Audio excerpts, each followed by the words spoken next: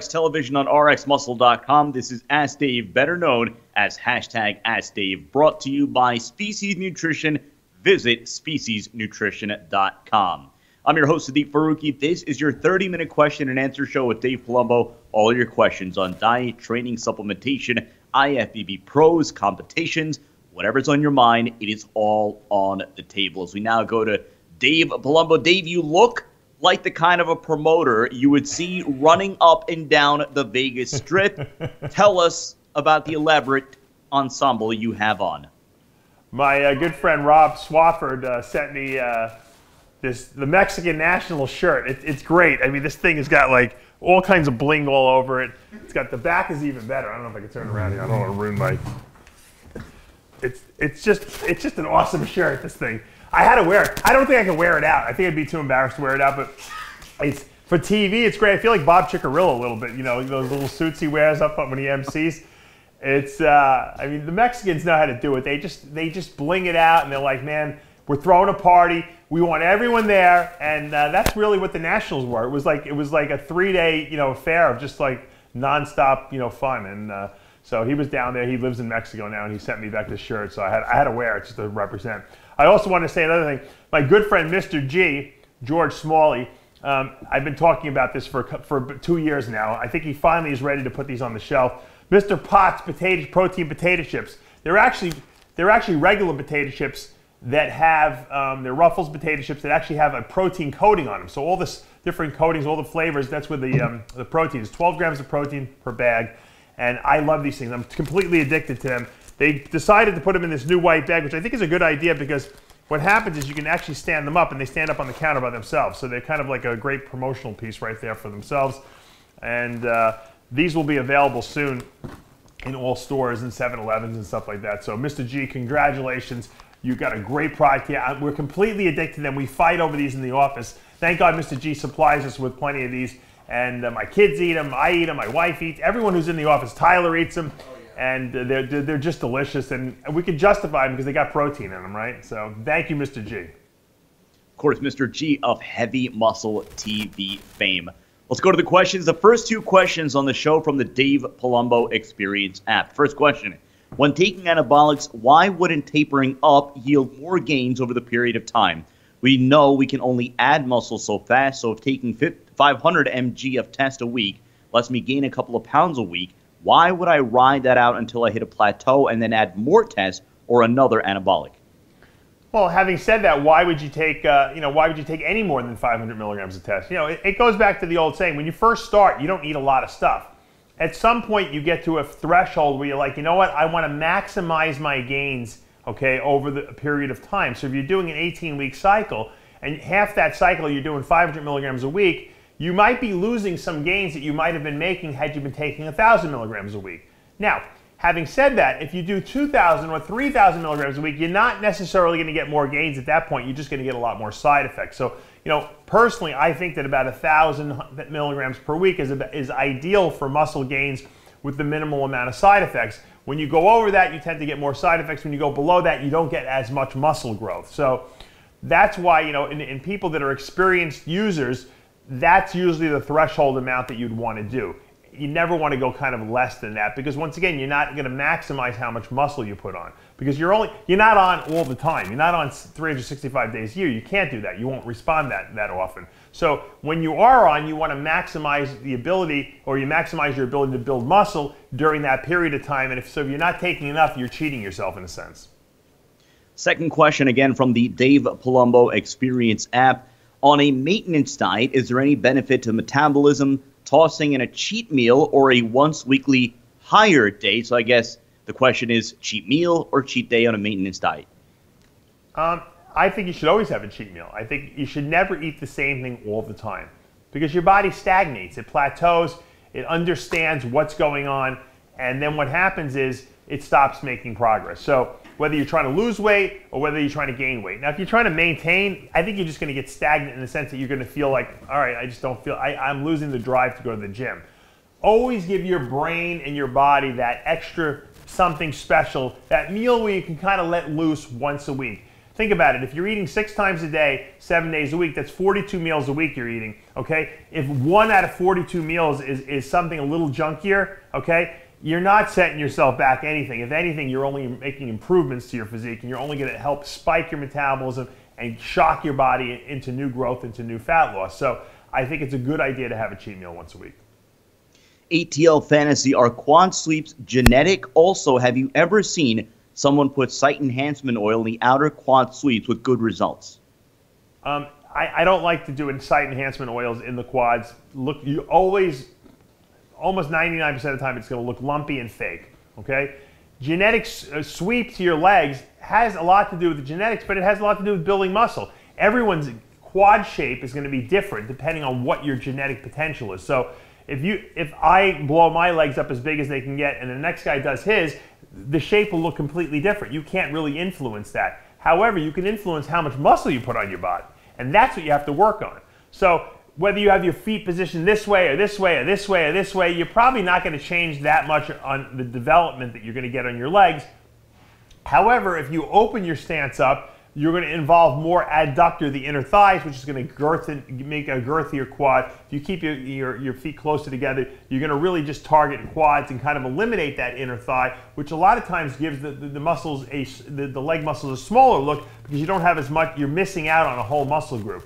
So while foot position is not that important in or out, uh, with you know wide and close does make a big difference. So you know, there is ways of influence, you know, how your legs look, but ultimately your genetic shape is your genetic shape. Excellent 187. I've been training for nearly a decade now. I've competed, I've been ripped, I've been strong, I've had striations, I've been vascular, but I've never had my cephalic vein pop out. Is there any science or training method to bring out one cephalic vein? You're talking about the vein that goes right down the middle of the bicep, and you know yes. what? I had one of those from the day I started training. Okay, my, my, it wasn't that big. As I got bigger and bigger, it got thicker and thicker, and, and it looked more impressive, more impressive. So I always had veins. You know, I, I have them now, and I'm not. I'm only 190 pounds. So um, that's just my genetics. You know, um, can you make them come out? Can you make them bigger? Yeah, through training. But genetically, if you don't really have them all the time, you'd probably the only time you'll probably have them is like right before a show when you suck out all the water and you burn up all the subcutaneous fat. Um, if you tend to be vascular all the time, you'll get more vascular before a show. And that's just the way it is. You know, some people have a lot of superficial veins and very low body fat and thin skin, like myself. Other people, you know, have thicker skin, but they put muscle on. They have more dense muscle on their body because that's just the way their bodies are wired. Once again, a lot of genetics. Couple of Olympia related questions from PT Heavy 09. Is this the year that Flex Lewis gets dethroned? And then Kirilos 98 Dave, can you get Phil Heath on this channel? Um, I don't. I don't think that uh, Flex Lewis is going to lose unless we see Hadi Choopan somehow get a visa from uh, Iran, which we're in the process of working on right now.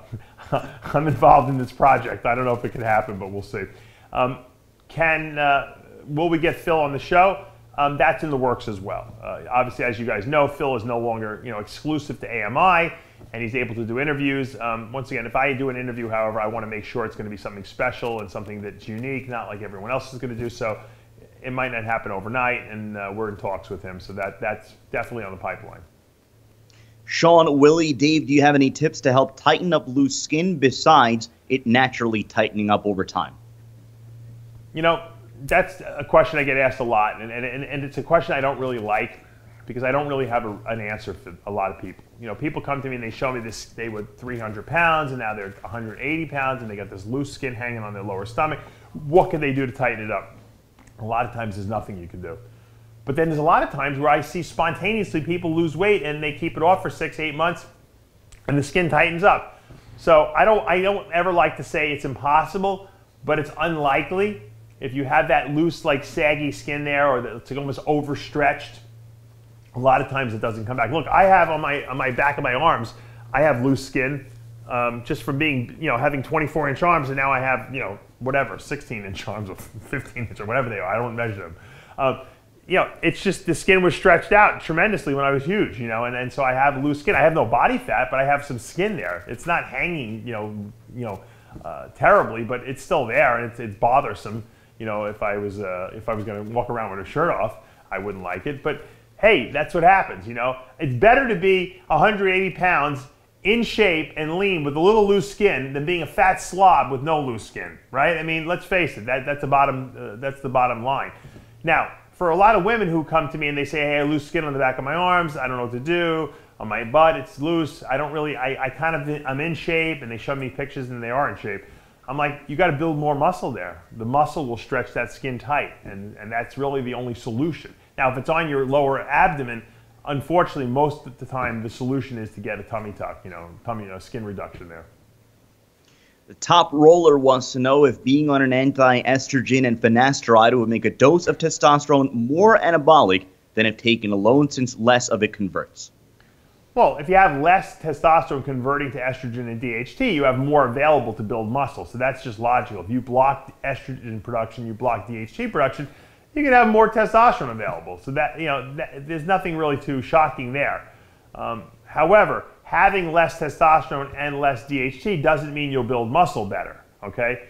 It'll mean you'll build build muscle better if you have more testosterone uh, around. It doesn't mean, in other words, they don't, estrogen doesn't stop muscle building. And a matter of fact, people have a lot of estrogen build muscle better usually because estrogen sensitizes androgen receptors to a certain degree. I think that's why women can take to take lower doses of drugs and they can grow better. I think because they have so much estrogen in their body, they actually have better androgen sensitivity. Not to mention their androgen receptors are better just to begin with because they don't have a lot of testosterone in the body. They don't produce any. They have very minute amounts coming from adrenal androgens like DHEA and so they have to be able to be responsive to that. So women have a, a, a, double bonus on building muscle quickly. That's why when I see women taking ridiculous amounts of drugs, anabolics, that, that have tons of side effects, I, I, I cringe because there's no reason for them to use that.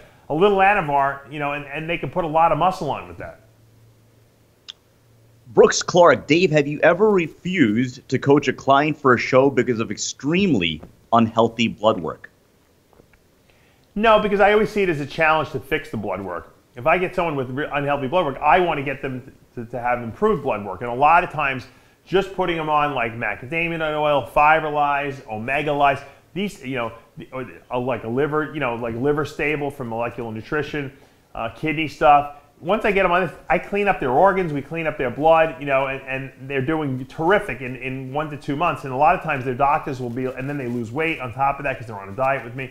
The doctor's like, I don't know what you're doing. Whatever you're doing, don't stop. I've had so many people tell me that. And a lot of time it's, it's just because I'm getting their diet cleaned up and I'm getting them to lose weight. But then you, but those essential fatty acids and are very important. Fiber, very important, pulling toxins and, and lowering LDL cholesterol. You can't believe just on a couple of supplements and a little few diet changes how radically you can change the blood work around. Moving to 2222, advice on holding on to leg size with age. You know what the key is? Don't stop training them. You know, as soon as you stop and you lose the muscle, it's hard to get it back. Obviously, I had the quads tear and I, and I was out of the gym a lot. And I, I, I still can't train legs well because I have this, the quad is still partially torn. I'm going to need to have another surgery probably in the next year or two whenever I have free time. Good luck with that. Uh, so, I lost a lot of leg mass, and I, I don't know if it would come back if I if I trained it, you know. But I think the guys who never lost the mass to begin with, they seem to be able to hold it. You know, we, I talking about Dexter Jackson being the ageless wonder. He never lost any leg size. He never really had huge legs to begin with, but he has good legs, and he never lost the leg mass, and so he's he's able to maintain it because he's still able to train. He has no injuries, and that's the key. If he would have stopped training for two years and just kind of like do nothing for his legs and they shrunk up, and then he went to try to put that size back on, he'd have a he'd have a difficult time. And that's just the way it is. So the key is don't if you don't want to lose legs, don't stop training your legs. Tyron Ram, Dave, can you tell us about your arrhythmia you said you had during exercise? What does it feel like? The, the, the, weird thing is it doesn't feel like anything. I don't even know I have it. The only reason I knew I had it was because I was wearing a heart rate monitor when I would ride my bike. You know, you put those straps around your chest and you have a little readout on your, well, actually I have a, on little Garmin readout on my bike. And I was seeing, I was looking at these high numbers. I'm like, this is impossible. I feel fine. So I went to the doctor and got it checked and they thought it was, they thought it was a mistake too.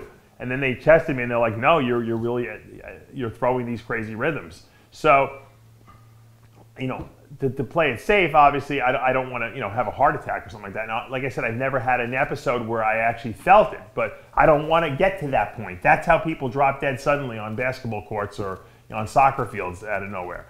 And so that's why I addressed it aggressively. And I think you got to do that. You got you got to know what's wrong with you and what's right about you, and so that you don't get surprised. Because people die because they get surprised because they're not ready for it.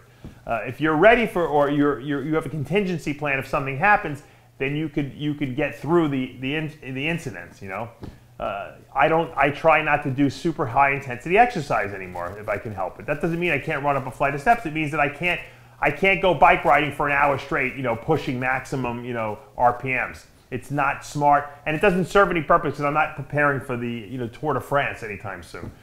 So know your own limitations, and it doesn't mean that you should live in fear of them. It just means that you should just be aware of them. Watching Ask Dave on RxMuscle.com, brought to you by Species Nutrition. Let's go to Carlston Iron Burner. Dave, what's the best way to build a nice tricep head? You know, I always found, at least in my body, because I have very long arms, that using isolating one unilateral movements with cables work the best. And, and, you know, I really learned that from from Vince Taylor. Vince Taylor always said that you know you don't have to go crazy super heavy with compound movements for arms because they they respond to isolation type movements. So you know, if I do reverse grip pull downs, if I do one arm push downs, if I do overhead cable extensions, um, actually I could do that. That's my new shoulder. It doesn't hurt overhead cable extensions, even some kickbacks. You know, that's going to really isolate my, my muscle, my tricep heads, and I can go heavy on those. And that's going to build muscle. And I found that that was the best way, probably the second half of my career, I built my arms using these techniques. Heavy weights, isolating movements, unilateral, one arm at a time. And my, I had good arms. I you know, I, I, when I started out, my father used, used to say to me, he goes, you're never going to be a good bodybuilder. You just don't have the arms of these guys. And I'm like, it would drive me crazy because I knew he was right. And it took me a while, but you know, I built 24 inch arms. So anyone can do it. If you, if you put your mind to it and you eat enough food and use the right training techniques, you can add muscle to your body. Let's go to Jacoby Alb or Albi. Dave, how does omega fats bring down inflammation? And is something like Omega Lyze comparable to kidney stuff in terms of inflammation reduction? Yeah, kidney stuff is special because it reduces inflammation around the kidney tubules, and that's by by reducing the inflammation and allowing these tubu tubules to dilate more, you can get better filtration at the kidney tubule, which means you're going to get lower creatinine and BUN levels, which is what we want, meaning the the blood is being filtered more efficiently, right? I mean that, that's that's what we're looking for.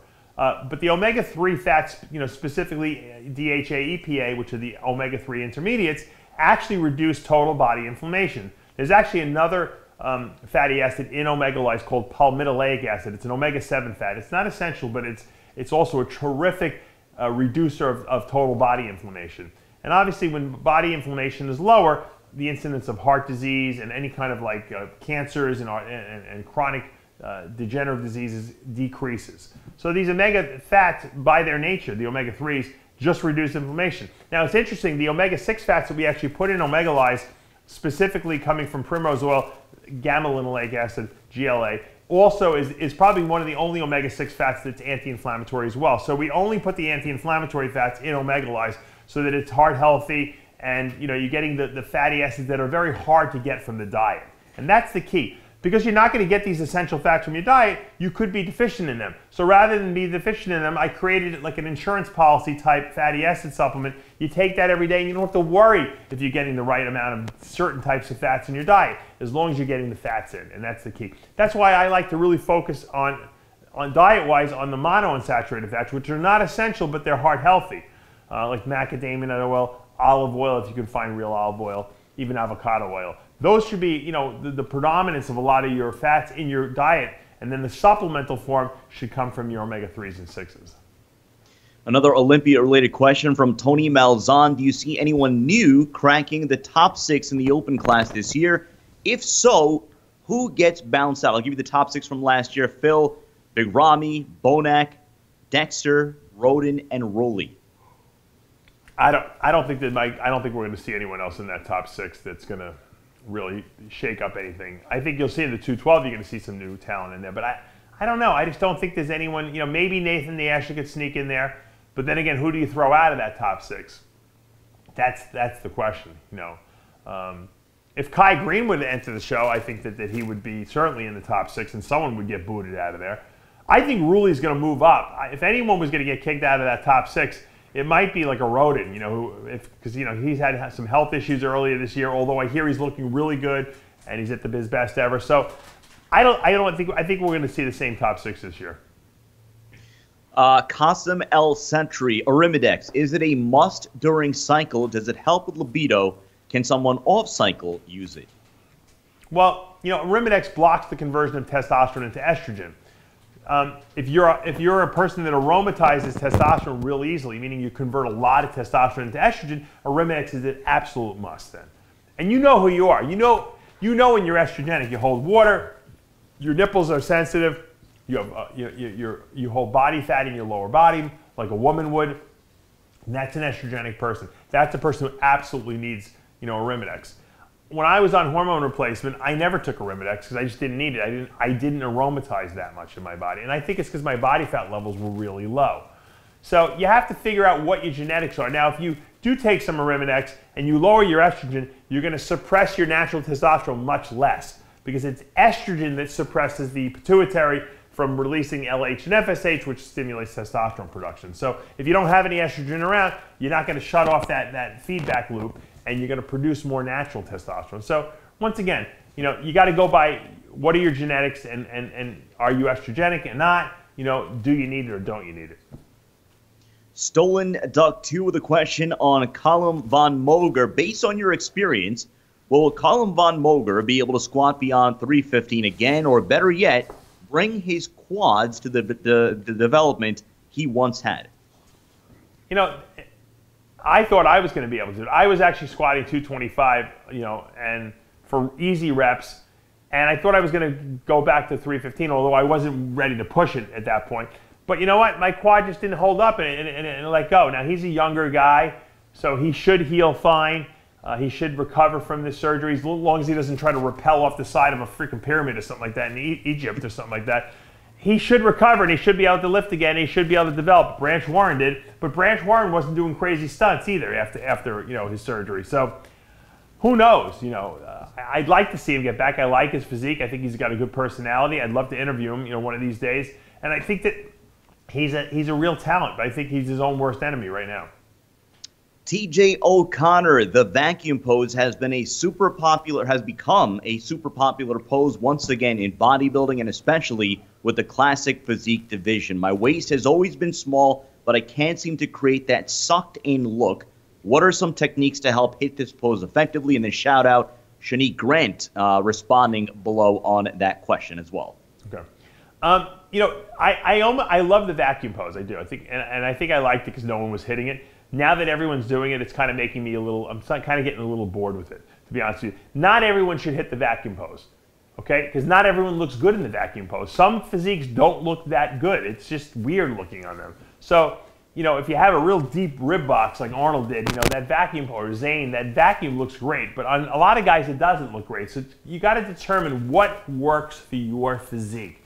Don't try to be someone else. Don't try to hit a vacuum just because you think that's a classic pose that you have to hit. It, it's silly to do that. Only use it if it works to your advantage on stage. And you know, you can look at pictures and you can say, hey, that looks good or, or it doesn't. And if you're not sure, ask someone else that you know is going to tell them the truth. I'll tell you the truth if your vacuum pose looks good. Now, what was the other part of the question, Sid? No, that, that was the question. Oh, I thought there was there was another piece to it. Um, no, no, no. I said shout out to Shanique Grant because she uh, responded. Oh no, how to get? Oh no, they, the, the part of the question was how do you get a, do a vacuum pose? Now, if you're having trouble hitting the pose, you can do these intestinal breathing exercises that I've talked about uh, in other videos, where you kind of just put your hands on your stomach, you, you suck in, you push out, you suck in, you push out. You do 300 of those a day. That's working that transverse abdominis muscle. That's the inner layer of muscle under the rectus abdominis though that layer of muscle is responsible for pulling in your stomach. That's what you're doing, okay, on a vacuum pose. You're pulling in your stomach and then throwing your arms up so that you're hitting that vacuum. So you're blowing your air out and sucking your stomach in at the same time. But if you don't have strong transverse abdominis muscles, you're not going to be able to pull your stomach in that much. That's why you got to start doing these intestinal breathing exercises once again, in, out, It's, it's, it feels unnatural to push out, but you push out, you push, pull in. You push out, you pull in. And you do that 300 times a day. Within, I promise you, within a month or two, you're going to see a complete difference in the way for you execute that vacuum pose.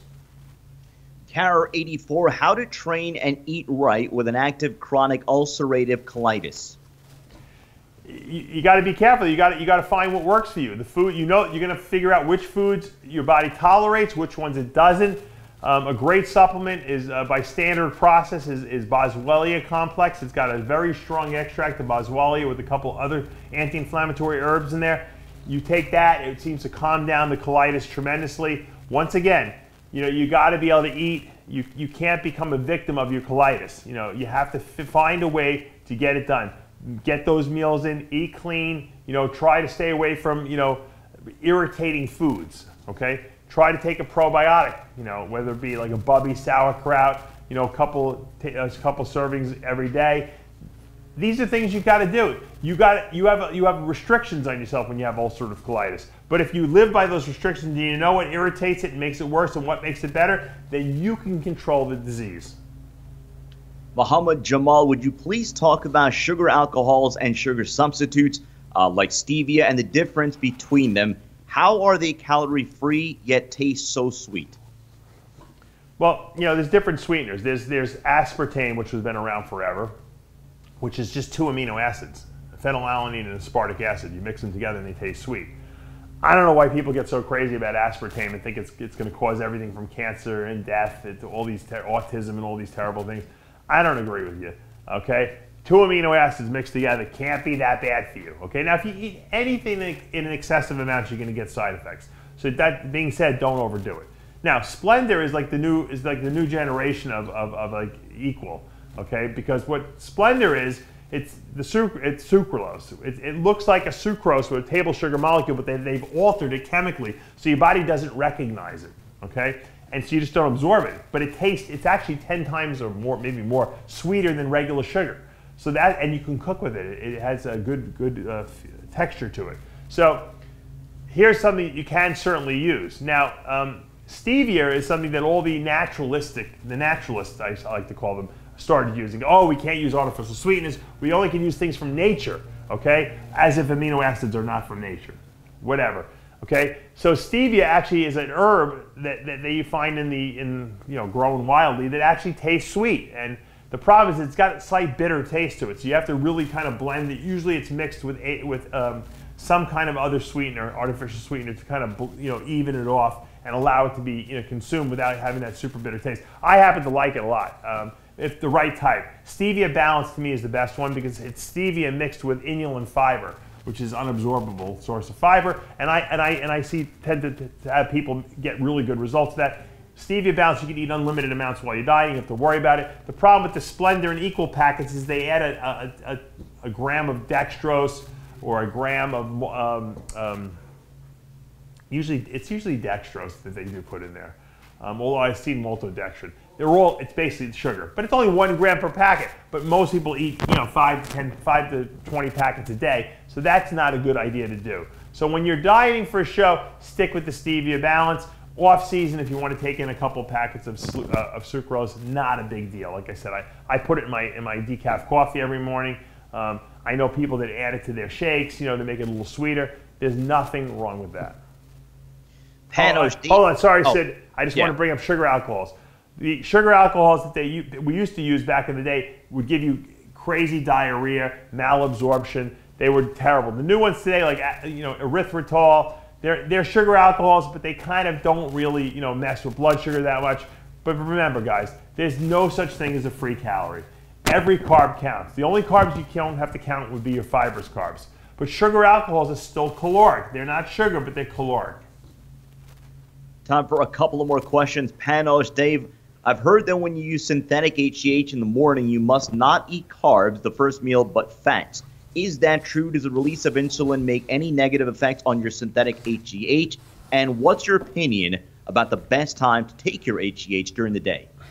Yeah, I like to take uh, growth hormone in the morning because you're the most catabolic in the morning, meaning you have the most catabolic hormones coming from cortisol early in the morning and then as the day goes on, cortisol drops and your, your, your natural androgen hormones go up, your anabolic hormones. So you might as well take growth hormone in the morning when you're the most catabolic to try to counteract some of that, right? Because then you're going to grow better. Okay. The problem is that um, you know uh, a lot of people. I'm just trying to think. What was the original question? they I have to go know, back to. Uh, wow. I'm kind of blanking on it as well. Um, oh yeah, it was a long question um, about the, the, best time to take. Oh, each, uh, about best time. Yeah, to take I, I, remember, I remember what I was going to say. Oh, about having carbs. Yes, yes. Meal. So it, when you're taking right. growth hormone, because it's actually growth hormone already, and you're not worrying about your body producing its own, you can eat whatever you want. Because no matter what you eat, you could eat a gallon of ice cream. It doesn't matter how much sugar is in that ice cream because if you inject GH, you got GH in your bloodstream. Now, if you're trying to stimulate your body to produce its own growth hormone and you're eating a high carb diet, high sugar content, okay, that could suppress your natural GH release. But we're not trying to get our bodies to release GH. We're actually taking synthetic GH. So it doesn't matter what the environment is that you put it in. If you're taking synthetic GH, you got the GH in your body and it's going to act like GH. And that's the bottom line. You know, but if you're taking something that stimulates growth hormone release from the pituitary gland, now you have to look at what's the environment around it because maybe you won't actually release as much GH as you thought given the stimulus that you're giving your body. Make sense? I think it should. Sarush SRD, can you explain sodium loading? I'm not a big sodium loader. I, I, believe in sodium loading the whole diet, meaning that never cut your sodium. Eat whatever salt you want. As a matter of fact, salt your foods. The more sodium you consume, the less sodium sensitive you become. How do you become sodium sensitive? Well, if you don't eat a lot of salt in your diet, what happens is your body gets senses low sodium. So it sends out a signal to release the hormone aldosterone from the adrenal glands. Aldosterone's job is to reabsorb sodium in water. So eating salt will actually make you more salt sensitive because the longer you go without salt, okay, your body starts to release an uh, a hormone known as aldosterone. Aldosterone's job is to reabsorb sodium in water. So if you're eating no salt, you're going to have high aldosterone. Every time you do eat salt, you'll retain it. If you're eating a lot, enough salt in your diet already, your aldosterone production will never go up, okay, because your body doesn't need it. So when you do eat a big salty crazy meal, you won't absorb that whole meal. You'll actually pee out everything and get rid of it because you don't have super high aldosterone. So the biggest mistake people make is, is, is somehow is restricting salt in their diet, thinking it's going to get them leaner, and it's not. Prime time. What's the idea behind having your feet elevated while waiting backstage for a show? Well, the problem is when you're backstage, okay, if you're on your feet, all the fluid that's left in your body can, will pool in your legs and you'll get swollen ankles and a lot of times your legs can smooth out a little bit. By laying down and elevating your feet, you're allowing the blood to come back to the heart and get recirculated you know, efficiently without that blood leaving okay the, the circulatory system and the and what happens is the blood's not really leaving it's the actual clear fluid portion of the blood the water part of the blood that was leaving and going under the skin and is going to create more subcutaneous water okay we don't want that one more question is from Aisha M. Fate, and it's a question that we used to have a lot on the first few episodes of Iron Debate. Some say bodybuilding is not a real, quote, sport. Your take? You know, you go into the gym, you're working out, it's a physical endeavor. Um, it requires proper nutrition, it requires sleep, right? It requires the use of possibly performance enhancing drugs. That to me is a sport. Now, bodybuilding is a sport, but bodybuilding competition is judged like a pageant, like almost like a beauty pageant. Um, there, yeah, there are certain guidelines that you want to look for and muscle size and, and, conditioning and stuff like that. But ultimately, the judges pick who they like. What what the overall look is that they're that they're attracted to. That that's like, hey, that's what I think bodybuilding should be about. So there's real no in stone rules. You can kind of vote for whoever you want as a judge, and so that makes it a pageant in a sense. So it's a sport in the gym. When you compete, it's a pageant. Don't get upset when you don't get the placing you want because you think you deserve it. That doesn't mean that everyone else agrees with the, your opinion of the way you look. Some people may say, you know what, he looks good, but he doesn't look. I don't think that's not a look that's appealing to me. So that's why people get frustrated. And you don't have, you can't get frustrated. It is what it is. That's the way it goes. It's not a subjective sport. Uh, it, it's an opinionated sport, and the judges get to decide who they like and who they want in that winner circle. That is going to do it for this episode of Ask Dave. Again, brought to you by Species Nutrition. Visit speciesnutrition.com. For Dave Palumbo and our producer Tyler Shore, I'm Sadiq Faruqi. We'll see you next time.